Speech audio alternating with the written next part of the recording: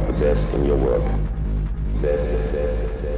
For this, I will not disclose the price. Disclose the price.